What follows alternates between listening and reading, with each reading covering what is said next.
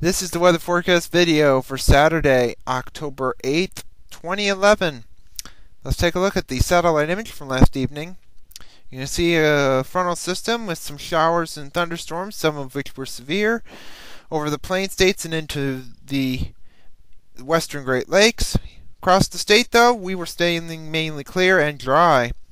Watch warning map from just before midnight a tornado watch in effect across Nebraska into Kansas and Oklahoma and Texas. Some winter weather issues over the Rockies and into the into Montana. Otherwise, the nation was quiet. QPF chart precipitation for the next five days through Wednesday evening at seven o'clock shows the rainfall could be substantial, meaning between about a quarter and three quarters of an inch, except in the far west where it could be over one inch. Let's take a look at the 0ZGFS model run at 1 p.m. today. You're going to see a 588 ridge over the east, the central, central and eastern Great Lakes into the mid-Atlantic with the trough out west.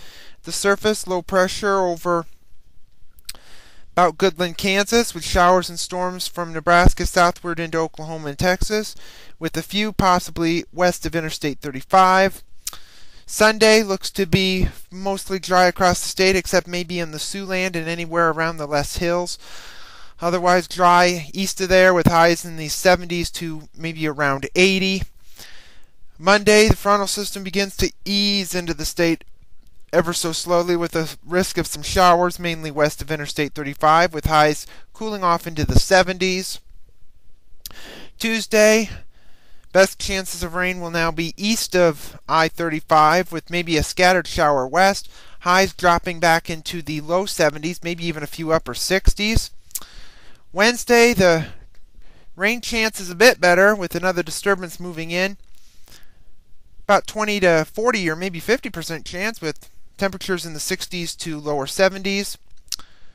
Thursday, that system moves off into the lakes, maybe a few residual clouds, and maybe a sprinkle or a shower across northeastern Iowa with highs in the lower to middle, maybe upper 60s.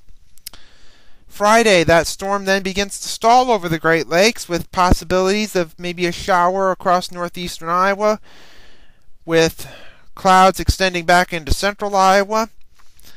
We head to a week from today, October the 15th, trough over the eastern Great Lakes and into New England with a new one coming into the northern plains and northern Rockies. At the surface, that system over the Great Lakes begins to move off new storm system develops, we get into drier air with temperatures in the 60s to lower 70s at that time.